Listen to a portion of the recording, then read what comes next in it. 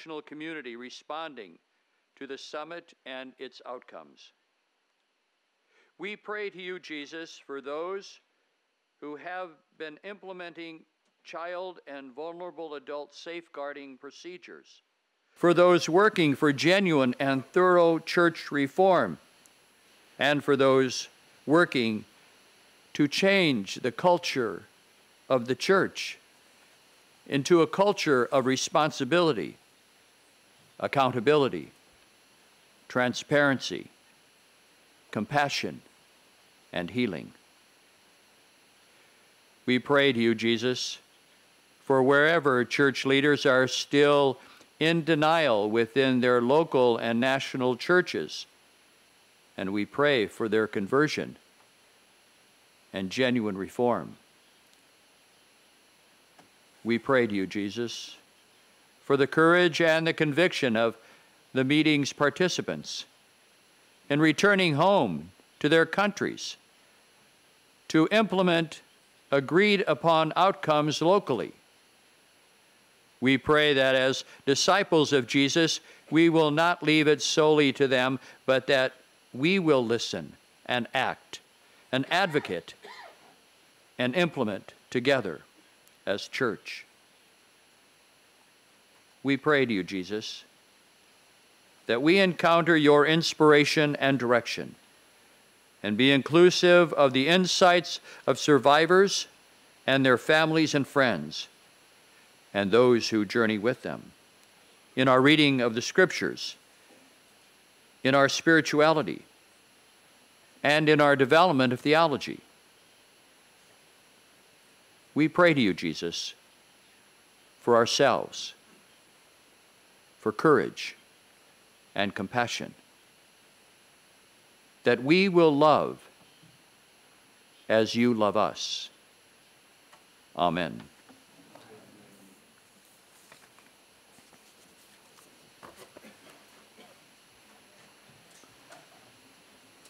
E allora adesso ci prepariamo ad ascoltare. Now we prepare to uh, hear the third presentation of the day, which will be given by Cardinal Ruben Salazar Gomez. It's entitled The Church in a Moment of Crisis Facing Conflicts, Tensions, and Acting Decisively. This facing conflicts and tensions and acting decisively. Il cardinale Ruben Salazar Gomez è He's Archbishop of Bogota and President of the Episcopal Council for Latin America. He's Colombian. He's 76, a member of the Congregation for Bishops and the administration of the Patrimony of the Holy See of the Pontifical Commission for Latin America. Thank you, Your Eminence. We are ready to hear from you. Holy Father, Your Eminences, Your Excellencies, brothers and sisters. Throughout the day, we have been responding to a very specific question in the face of the crisis that we're experiencing in the Church. What is the bishop's responsibility? In order to understand this responsibility and take it on, it's imperative that we try to define as far as we can the actual nature of the crisis. A brief analysis of what has happened makes it possible for us uh, to understand it's not just sexual deviations or pathologies and abuses, but that there is a deeper root, which is the distortion of the meaning of, meaning of ministry, which has converted it into a means to impose force uh, to violate the conscience and bodies of the weakest. And this is called clericalism. In addition, in analyzing the way in which this crisis has generally been responded to, we discover that uh, we have a mistaken understanding of how to exercise ministry. And that mistaken misunderstanding has led us to serious errors of authority which have increased the severity of the crisis. This, too, is called clericalism. It is this reality that the Holy Father, Pope Francis, uh, describes in his letter to God's people in August of last year. This is clearly seen in a peculiar way of understanding the Church's authority. One common in many communities where sexual abuse and the abuse of power and conscience have taken place. This is the case with clericalism. To say no to abuse is to say an emphatic no to all forms of clericalism. Clear words that urge us to go to the root of the problem in order to face it. But it isn't easy to say no emphatically to any kind of clericalism because it is a mentality that has permeated our church throughout the ages. And uh, nearly always we're barely aware that it underlies our way of conceiving ministry and acting at decisive moments. This observation means that it is necessary to unmask the underlying clericalism and bring about a change of mentality, which, to put it in more precise terms and biblical terms, is called conversion. Our responsibility is expressed mainly in a meticulous coherence between our words and our actions. And the mentality behind our words must undergo a thorough revision so that our words and actions can correspond to God's will in the Church at this time. This invitation to conversion is addressed to the whole Church, but first of all, to us, who are her pastors. Part one is the responsibility of the bishop in light of the office received and his co-responsibility as a member of the Episcopal College under the supreme authority of the Church. As bishops, our responsibility begins by constantly increasing our awareness that on our own we are nothing. We can do nothing, since it is not we who have chosen the ministry, but the Lord who has chosen us to make his salvation present through the acting of the Church without tarnishing his presence with the darkness of our counter witness.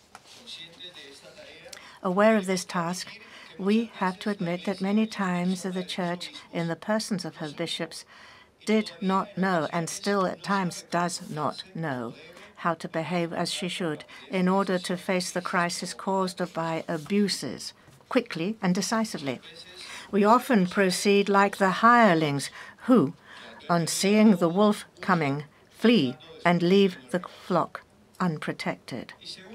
And we flee in many ways by trying to deny the dimension of the denunciations presented to us, by not listening to the victims, ignoring the damage caused to the victims of abuse, or transferring the accused to other places where they continue to abuse or trying to reach monetary settlements to buy silence. Acting in this way, we clearly manifest a clerical mentality that leads us to misunderstand the institution of the Church and to place it above the suffering of the victims and the demands of justice. This mentality accepts the justifications of the perpetrators over the testimony of those affected it silences the cry of pain of the victimized so as to avoid public noise that a denunciation before civil authorities or a trial could provoke. It takes counterproductive measures that ignore the good of the communities and the most vulnerable. Relying exclusively on the advice of lawyers, psychiatrists, and specialists of all kinds, it neglects any deep sense of compassion and mercy. It even goes so far as to lie or distort the facts so as not to confess the horrible truth that presents itself. This, this mentality is manifest in the tendency to affirm that the Church is not and need not be subject to the power of civil authority like other citizens, but that we can and should handle all our affairs within the Church, governed solely by canon, canon law. This mentality goes so far as to regard the intervention of civil authority as an undue intrusion, which in these times of growing secularism can be alleged to be considered persecution against the faith. We have to recognize this crisis in its full depth. To realize that the damage is not done by outsiders, but that the first enemies are within us, among us bishops and priests and consecrated persons who have not lived up to our vocation. We have to recognize that the enemy is within. Recognizing and confronting the crisis, overcoming our clerical mentality, also means not minimizing it by asserting that abuses occur on an even larger scale elsewhere. The fact that abuses occur in other institutions and groups can never justify the occurrence of abuses in the Church because it contradicts the very essence of the ecclesial community and uh, constitutes a monstrous distortion of the priestly ministry, which by its very nature must seek the good of souls as its supreme end. There is no possible justification for not denouncing, not unmasking, not courageously and forcefully confronting any abuse that presents itself within our church. We also have to recognize that the press and other media and social networks have been very important in helping us to face the crisis rather than trying to sidestep it. They have done a valuable job in this regard, a job that needs to be supported. As Pope Francis put it in his Christmas greetings to the Roman Curia, and I quote, in discussing this scourge, this wound, some within the Church take to task certain communications professionals, accusing them of ignoring the overwhelming majority of cases of abuse that are not committed by clergy. The statistics speak of more than 95%, and accusing them of intentionally wanting to give a false impression, as if this evil affected the Catholic Church alone.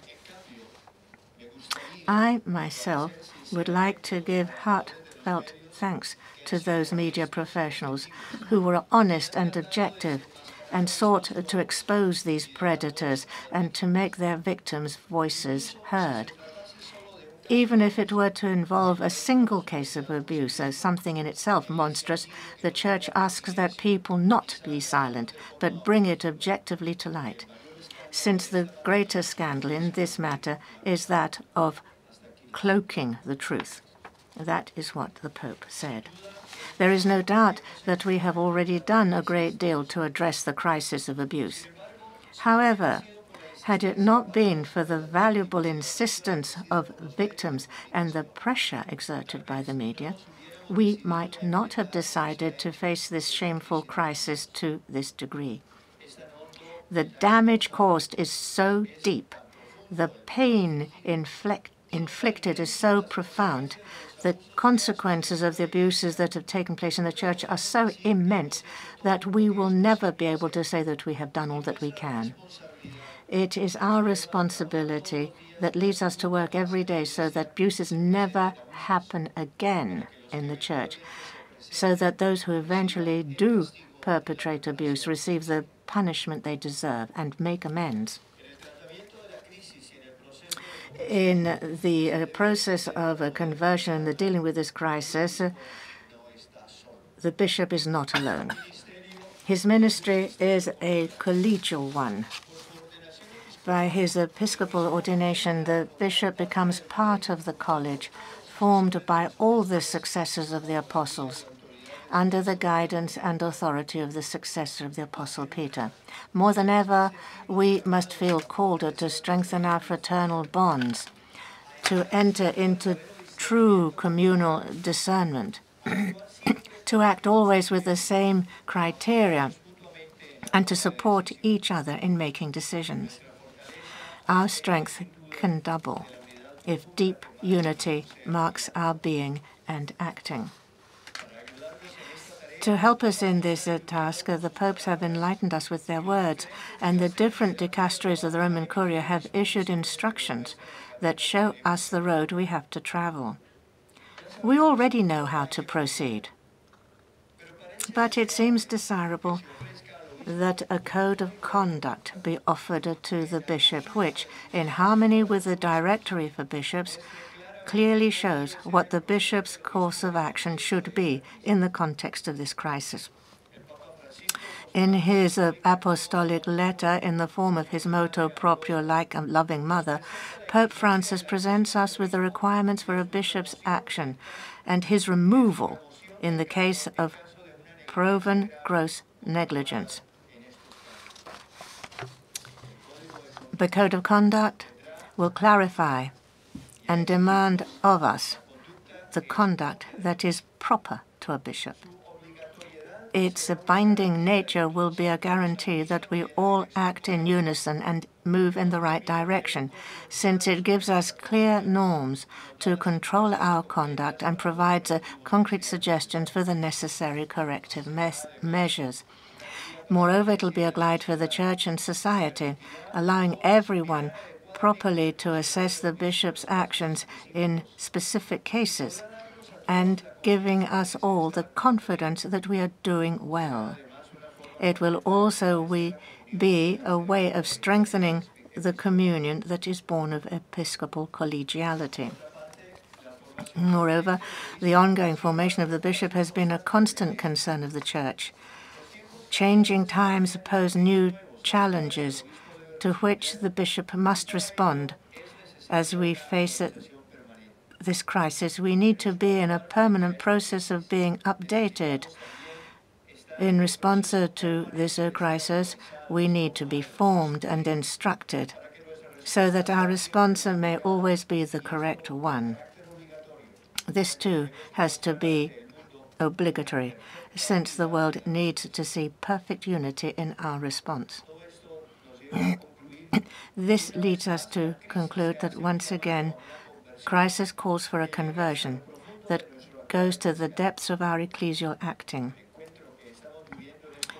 At this present encounter, it is a clear sign and a real opportunity to grow in the spirit of communion.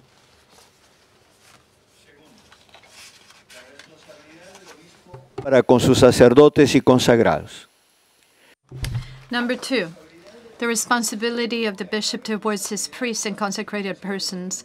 The bishop also has responsibility for the sanctification of priests and consecrated persons.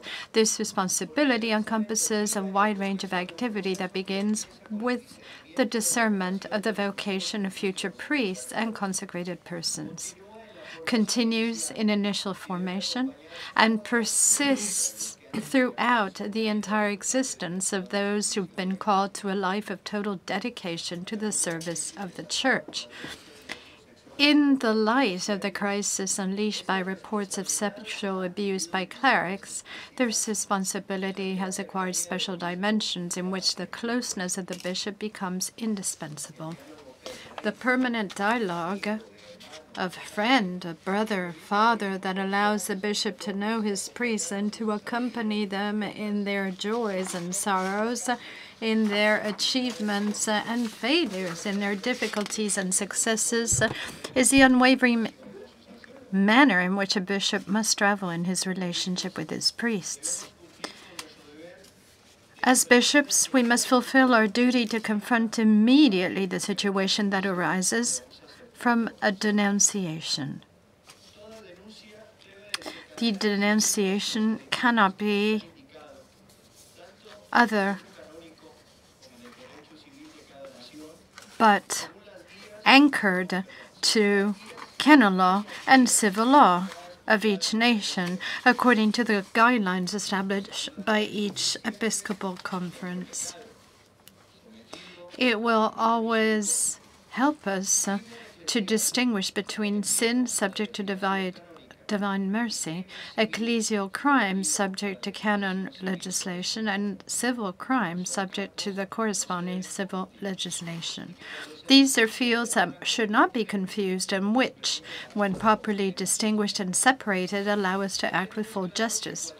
Today, it is clear to us that any negligence on our part can lead to canonical penalties, including removal from ministry, as well as civil punishment that can even lead to imprisonment for concealment or complicity. Throughout the canonical process, it is essential that the accused be heard the bishop's gracious closeness is a first step towards the recovery of the offender. Conscientiously following the guidelines drawn by the Episcopal Conference allows the bishop to demonstrate for his diocese the route that will have to be followed in the various cases of accusations of abuse by a cleric. The special care that is taken in this implementation will determine to a large extent whether the case is treated with full justice. But it's not enough to prosecute and convict the accused when the fault is proven. It's also necessary to provide for his treatment so that there is no relapse. How Justice is implemented concretely in the different processes that deal with abusive clerics is one of the most important factors in overcoming the crisis with regard to the health of priests. Since one often hears people say, Where are the rights of priests?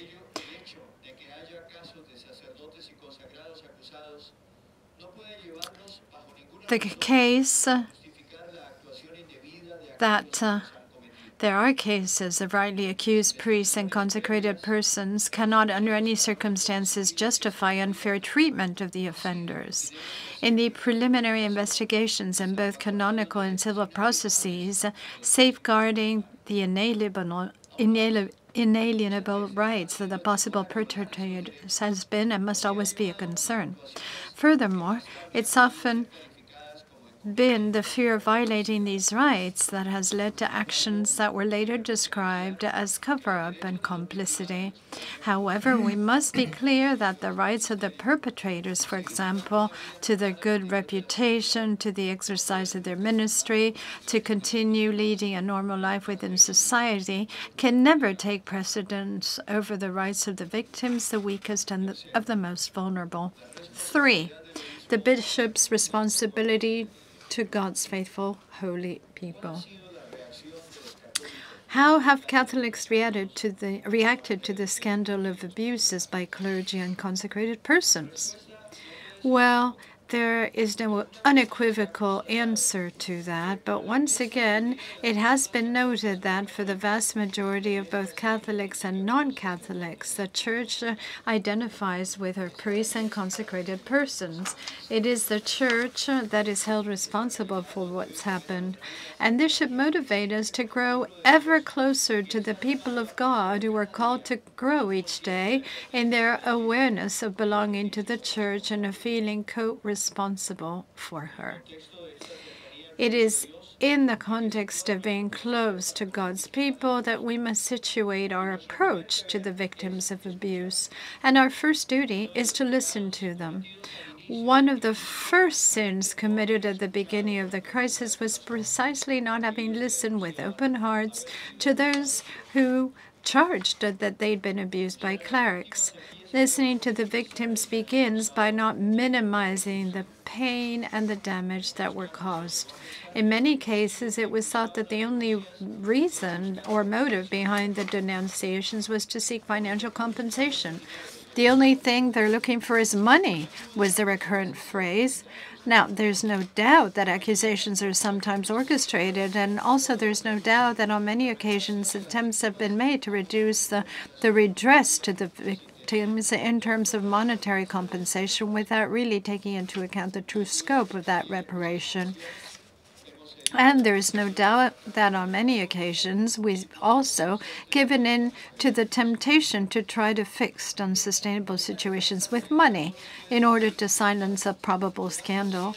This harmful reality must not stop us, however, from becoming aware of our serious and grave responsibility for uh, compensation of victims and redressing of uh, the situation.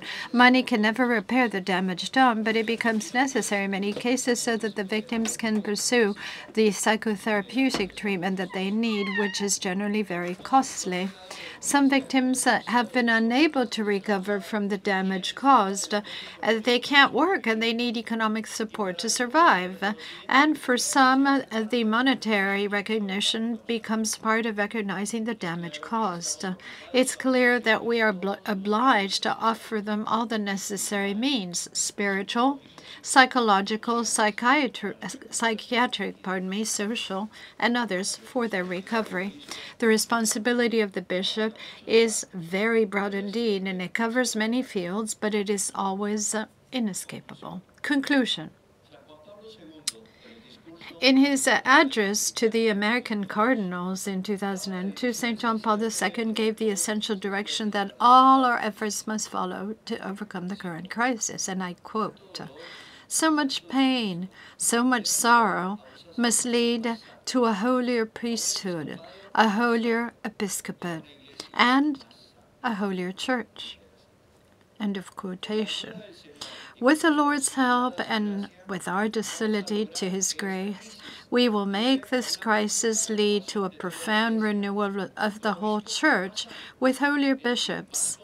In other words, more aware of their mission as pastors and fathers of the flock, with holier priests and consecrated persons, more dedicated to uh, exemplary service to God's people with a holier people of God, in other words, more aware of their co responsibility to build permanently a church of communion and participation where everyone, especially children and adolescents, always find a safe place that will promote their human growth and their living of the faith. In this way, we shall contribute to eradicating the culture of abuse in the world in which we live. Thank you very much.